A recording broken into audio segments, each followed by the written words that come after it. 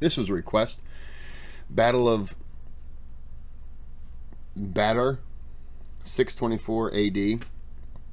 Islam's Islam's? Oh my goodness, what's wrong with me? Islam's first arrow. This was requested. Did I already say that? My memory might be going bad.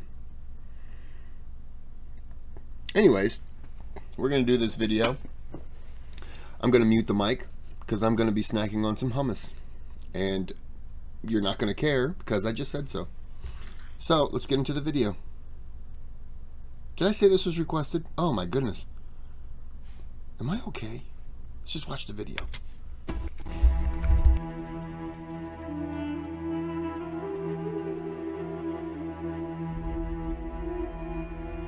The expansion of the Islamic religion and culture is one of the most consequential developments in recorded history.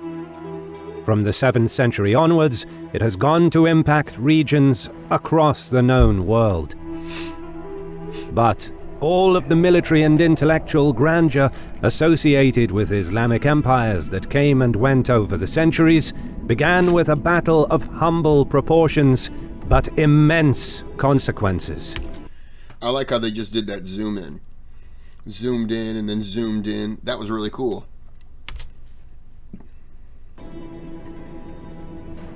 In 624 AD, a fledgling group of a few hundred Muslims, under their leader Muhammad, made a stand against the powerful Quraysh tribe. In the dry, arid valley of Badr in western Arabia, the Muslims arrayed for battle putting their faith in a man who claimed to be the prophet of a new monotheistic religion. This video is brought to you by Conqueror's Blade. Master the art of medieval warfare in this free-to-play tactical MMO. Set foot in the vast open medieval world as a warlord, build and in the year 610 AD, a 40-year-old merchant by the name of Muhammad was sitting in a cave outside of the city of Mecca, where he regularly went to meditate. There, it was said that the angel Gabriel came to him and proclaimed that he had been chosen as a messenger of God. Muhammad hailed from the Banu Hashim clan and was a member of a family that had produced numerous tribal chiefs for the most powerful tribe in Mecca. The Damn, they got his genealogy here.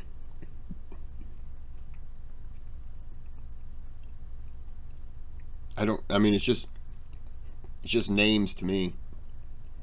Umar. I've seen this one.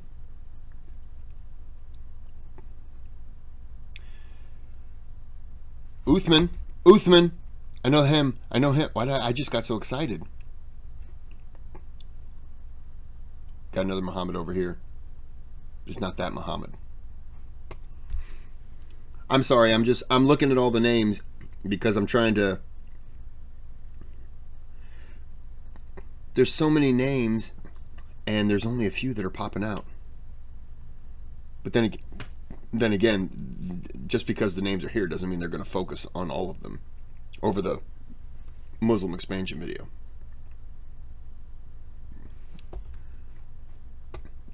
Hassan. I think I've seen that one.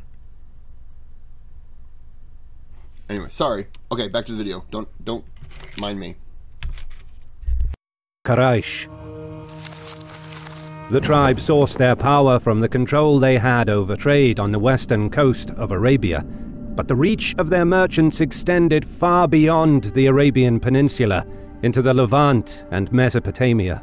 Muhammad himself partook in the trade between the Indian Ocean and the Mediterranean and became known as the Trustworthy for his honesty and impartial resolution of disputes. Soon after receiving It's a pretty good nick, er, nickname. Pretty good. Yeah, nickname. Pretty good way to be viewed as a very trustworthy, you know, reliable person. It's it's good. Receiving his revelations, Muhammad began preaching the message of Islam to the citizens of Mecca. At first, his monotheistic message was disregarded by many of the Quraysh, some of whom ignored and mocked his preaching. Nevertheless, a small number of converts joined his cause, and Muhammad focused his efforts on building a small community with strong spiritual bonds. He stressed the need for a moral responsibility of man towards his Creator. He vividly described the Day of Judgment and spoke against the idols worshipped by the pagan Meccans, claiming that their fathers died in disbelief and faced perdition. As his message drew more converts, he and his followers were perceived as a threat by the local tribal leaders and rulers of Mecca. This. Isn't it funny? We do it today. When we don't really know something, we banish it. Oh, it's crazy. We're just so quick to uh, dismiss something we don't know. Scientology is bullshit, though. Trust me was when the Quraysh opposition arose against the Prophet, who profited significantly from the annual pilgrimage to the Kaaba and feared they would be overthrown by Muhammad. Trying to stop his preaching, some of the high-ranking Quraysh leaders tried bribing him by offering a higher position in the tribal structure and an How are you going to bribe someone who's already shown that his character is solid? He's not He's just not one of those people. That's just disrespectful.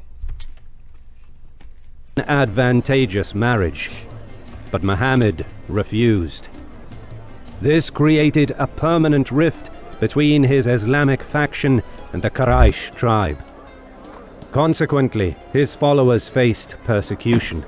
Some were exiled, while others faced torture. Several attempts were made on Muhammad's life.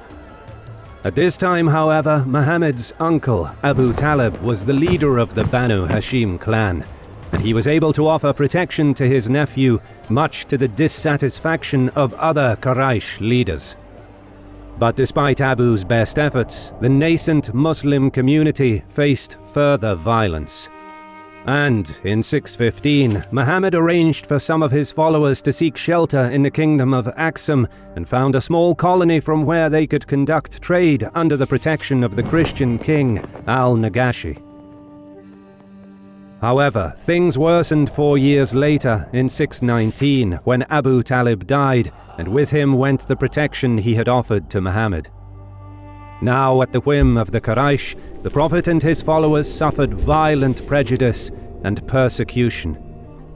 But by now, word had spread beyond Mecca of the coming of a prophet.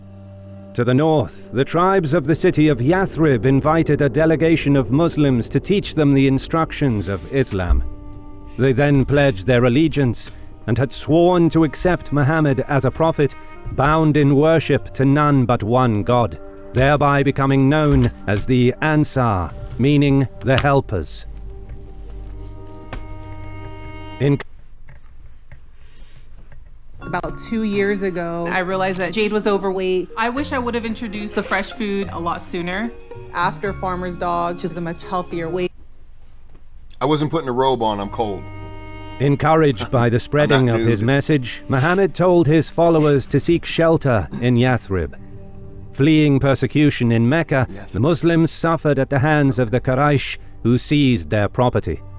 This event became known as the Hijra, meaning the migration.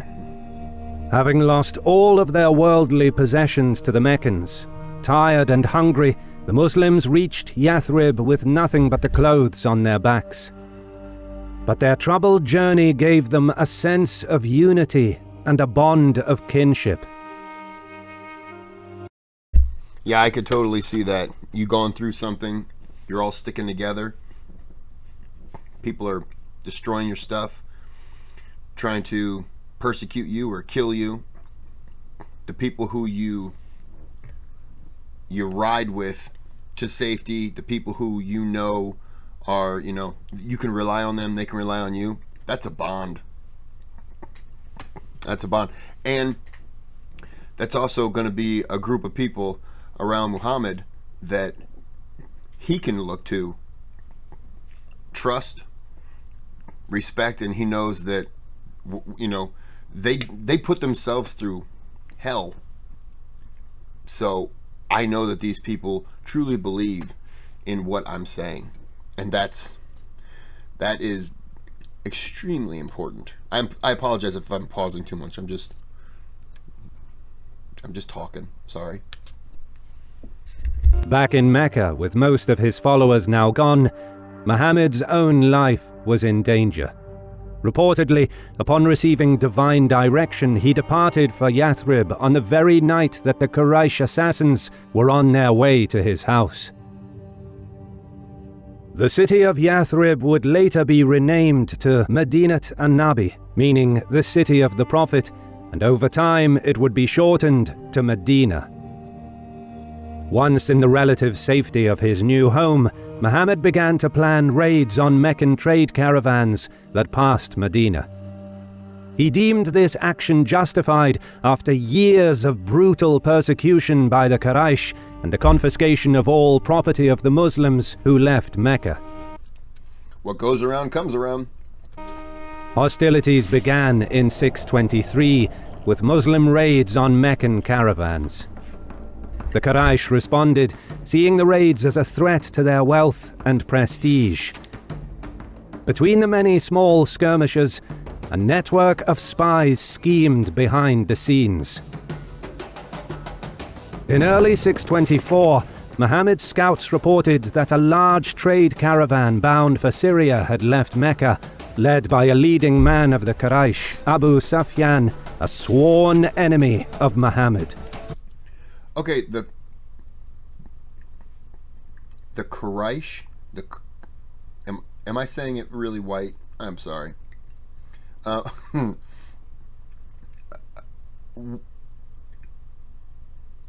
would uh, are oh my gosh, Kris, what's wrong with you? Are they is the the Quraysh is that short for like a tribe or is that a religious belief? Religious like a a religious group. Like what what does that mean? I guess is is what I I don't understand, or is it just really not important because they're just not around anymore or, or whatever? Anyone know? Video. The Muslims mobilized a force of some 313 to intercept the Meccans in the narrow valley of Badr. However, Abu Sufyan had spies of his own. While en route, he learned of Muhammad's movements and had diverted the caravan from the main road leading to Syria and headed along the coast of the Red Sea, thereby bypassing the Muslim ambush. Muhammad returned with his host back to Medina, but his scouts soon picked up Abu Sufyan's trail and followed him north. Weeks later, the Meccan caravan conducted their business in Jerusalem, Damascus, and other major cities in the area before making their way back south towards Arabia.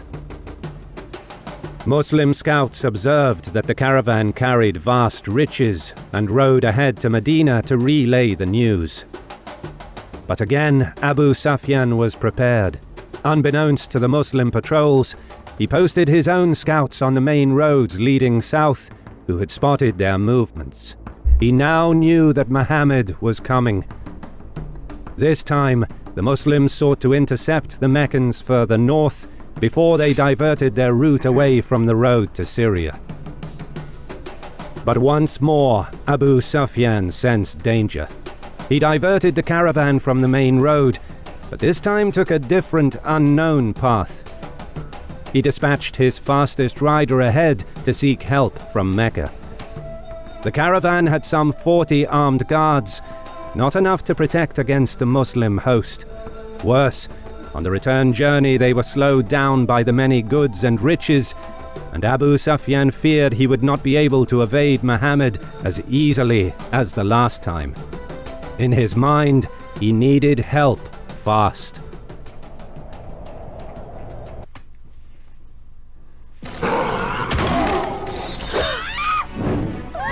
Game looks so stupid. It just looks like a stupid game. Once the rider approached Mecca, he tore his shirt and cut his camel in a few places to raise the sense of urgency in the minds of the Quraysh. He cried out for help, telling the tribal leaders that the caravan is about to be attacked and their wealth looted. Since most of the Quraysh had a share in the caravan, this exaggerated report had an immediate effect. Around 1,300 mobilized and swiftly moved north.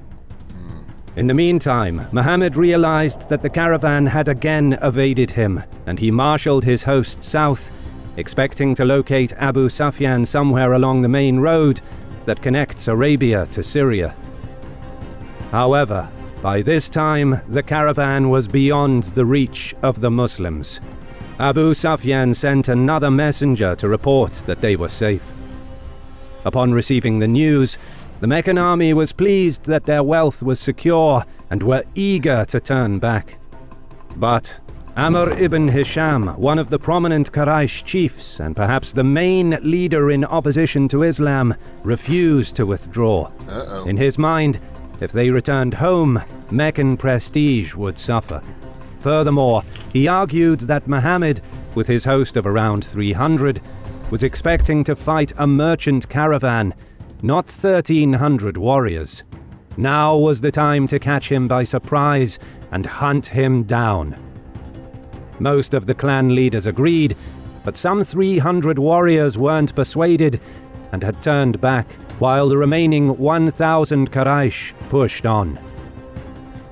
Meanwhile, marching south along the main road, the Muslim army encamped in the valley of Badr. As the evening drew to a close, a heavy rain brought much relief to the men, exhausted by the long trek. During the night, a messenger arrived, carrying news that the Meccan army is coming. Muhammad and his companions sat around a fire, contemplating their next move. With the Prophet were his top lieutenants, including Hamza and future caliphs Abu Bakr, Umar, and Ali. He saw the worry on their faces. I recognize all those names. Ugh. But then Mikdad, one of the Meccan companions, spoke, urging I didn't recognize him. God damn it. Muhammad to follow what Allah commands, pledging he will fight alongside the Prophet. Saad, a leader from Medina, exclaimed that he would follow Muhammad even into the depths of the sea. The Prophet then uttered to his companions, I can see the death of those disbelievers. The next day, Muslims were ready to sacrifice their lives for Islam. At first light, as the rain subsided, the Meccans began deploying for battle. Water bearers were sent to replenish the water supplies. Little did they know that the Muslims had filled in all of the wells close to the Quraysh camp. This clever move by Muhammad had created a logistical dilemma for Hisham. Without a source of water in the hot Arabian sun, the Meccan army either had to retreat or force a battle. Furthermore, the Prophet had chosen his position wisely by setting up his camp atop a sand dune. Was uh, Muhammad the the prophet? I don't know what I'm supposed to call him. Um, was he a military guy before? Um, he got the the prophet, you know, before. I, don't know. Do you know what I'm saying? I don't know how, how to word it. Before he became known as the prophet, was he? That's that's it. Was he a military guy before that? And I only ask because they said he picked the the the. Wow, I'm dying. I think he picked the high or he had good ground.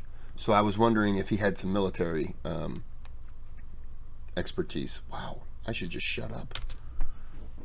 Although only slightly elevated, from here the Muslim leadership could observe all enemy movements. But more importantly, after the heavy rainfall the night prior, being on slightly elevated ground meant that the soil dried quickly and the troops could move easily. In contrast, the water runoff carried a deluge of sand, dirt, and dust from the surrounding rocky outcrops down into the valley, covering the ground around the Meccan position in wet silt. With his camp and army stuck in muddy conditions, and with no water reserves to rely upon, Hisham was outmaneuvered. Muhammad had forced him to fight on his own terms.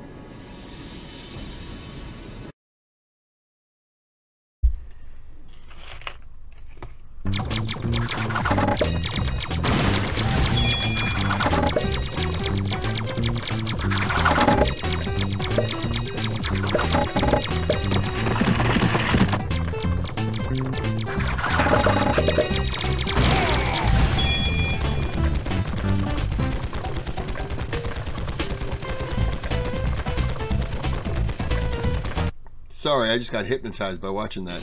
I'm sorry.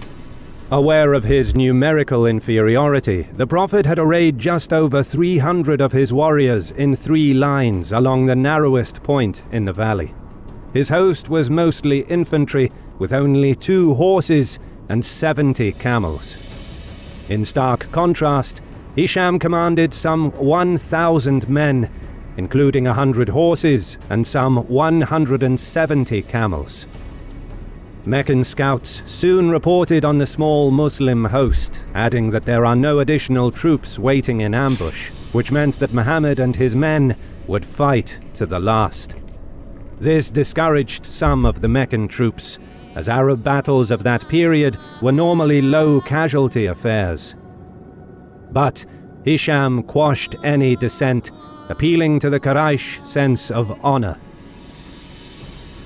Then, out from the Meccan ranks came a warrior, Aswad, swearing that he would drink from the well near the Muslim camp or die for it. Accepting the challenge, Hamza, one of Muhammad's uncles, stepped forward. As the two began fighting, Hamza dealt a blow to Aswad's leg, before quickly striking again to finish him off.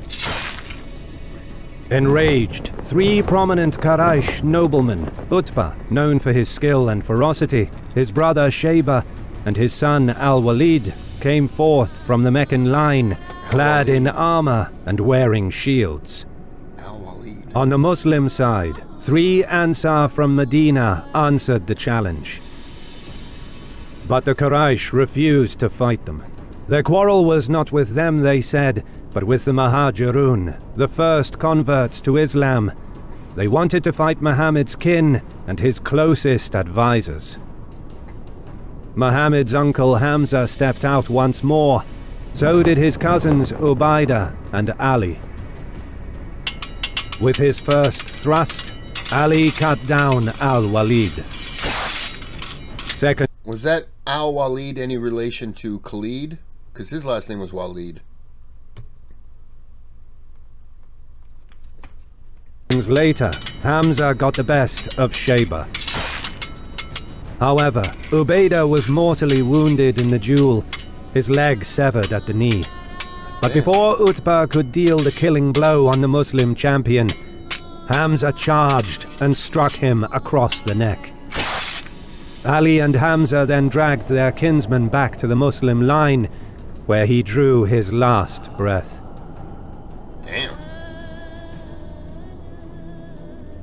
Angered with the poor showing in the duels, Hisham decided to put the Meccan strength in numbers to use by advancing on the Muslim line. Muhammad stood in the front ranks with the men, surrounded by his closest companions. The first Muslim line low Props to any leader who goes up front. Props to any leader for that. Because that's got to be scary as hell. With their spears and shields, forming a phalanx-like formation. The first Meccan wave was the fiercest. Quraysh cavalry attempted to break through the flanks, while Muhammad's outnumbered centre gave ground. But they managed to absorb the shock of the Quraysh charge, and the Prophet sent reinforcements to the flanks to prevent a possible breakthrough. As the stalemate dragged on, Exhaustion took hold, and a brief lull in the fighting offered respite to the two armies. Knowing he outnumbered the Muslims three to one, Hisham ordered the Meccans forward for a second time, eager to grind down Muhammad's host. Despite being aware that they cannot win a battle of attrition against an enemy three times their number, the Muslims closed rank and fought on with determination. In the narrow pass between the towering ridges on each side, this time Muhammad's line held firm, and yet again the momentum of the Meccan assault was exhausted. The lull in the fighting allowed the Meccans to regroup, while the fresh Muslim troops from the second and third line moved up to replace their fallen comrades in the front. Then came the third Quraysh assault. In the frantic struggle, exhausted men struggled to stay on their feet. The fighting swayed back and forth as warriors fell to swords and spears. But the Muslims held the enemy at bay. Despite possessing cavalry and a larger and better armed force, the Meccans were turned back yet again. Sensing that the enemy's will to fight was broken, Muhammad signalled to his faithful to ready their arms and charge the Meccans. Unable to break nor match the determination of the Muslims, Hisham's men routed. During the pursuit, most of the Meccans managed to flee, while some were captured. The symbolic end to the encounter came when Hisham's head was brought before the Prophet, who gazed upon his former pagan enemy and said, This is the Pharaoh.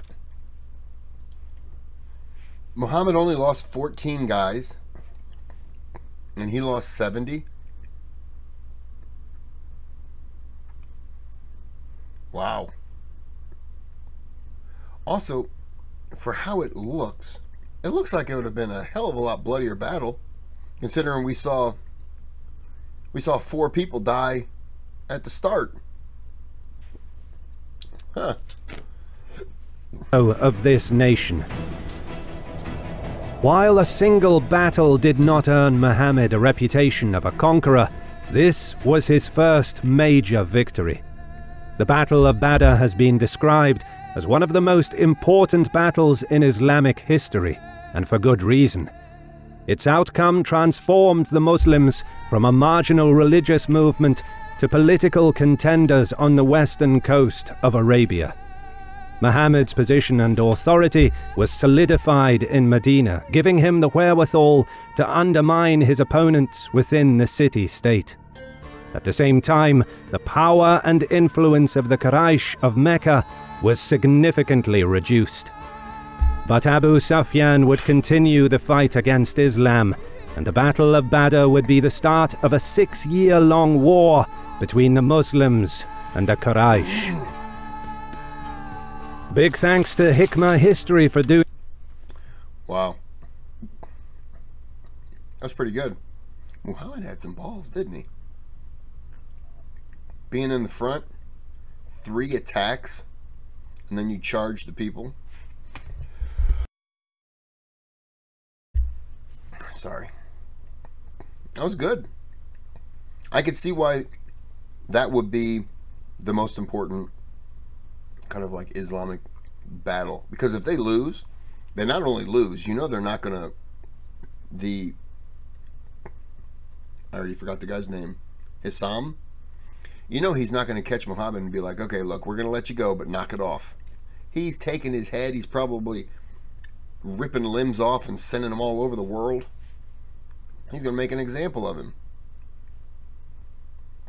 So, yeah, that was big. Okay. Well, I appreciate the request. It was good. I'm going to end this here. And uh, have a good day. Have a good night.